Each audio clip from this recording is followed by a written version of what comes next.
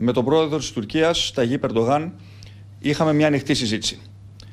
Έθεσα στο τραπέζι όλα τα ζητήματα που προκύπτουν από τις τελευταίες τουρκικές ενέργειες. Κατεγράφησαν οι εκατέρωθεν διαφωνίες.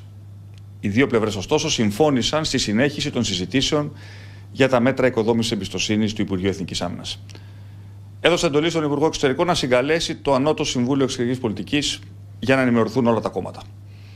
Θέλω να διαβεβαιώσω τον ελληνικό λαό ότι οι δυσκολίες στις σχέσεις με την Τουρκία υπήρχαν, υπάρχουν και θα υπάρχουν.